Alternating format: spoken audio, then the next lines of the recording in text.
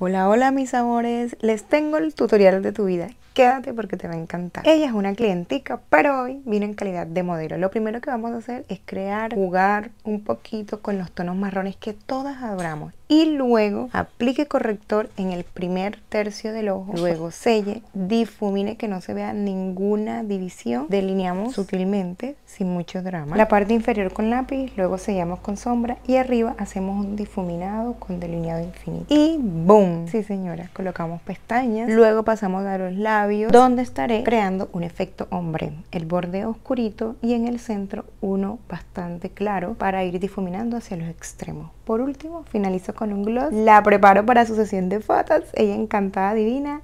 Y miren el resultado final. A nosotros nos encantó. Y si quieres ver el resultado final de cómo quedaron las fotos, ve a mi Instagram que te lo estaré dejando. Aquí verás muchos looks que te encantarán, definitivamente. Si llegaste hasta aquí, déjame en los comentarios desde dónde me ves.